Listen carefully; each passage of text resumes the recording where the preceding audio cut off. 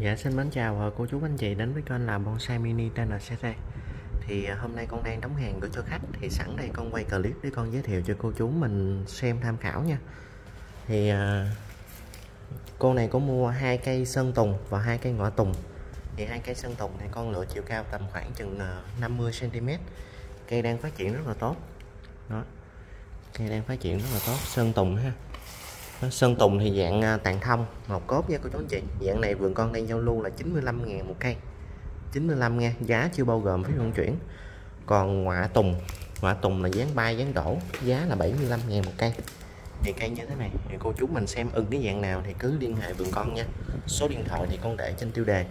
Làm dán bay, dán đổ, ngọa tùng và sơn tùng. Thì à, cô chú mình có muốn mua thì liên hệ vườn con. Một cây con vẫn gửi mà hai cây con vẫn gửi nha nhưng mà ăn thua tiền ship thôi. Đó ví dụ như bốn cây này thì tiền ship 40 ngàn. Đó tiền ship 40 ngàn cho bốn cây còn cô chú mình mua một cây thôi. Ví dụ như một cây um, sơn tùng này đi là tiền ship 30 nó một cây ngọa tùng tiền ship cũng 30 còn mua bốn cây thì tiền ship chỉ có 40 ngàn cho một đơn hàng đó ha. Thì tùy theo cô chú mình lựa chọn thôi. Con có đóng hàng gửi hàng toàn quốc nha cho nên cô chú mình cứ yên tâm.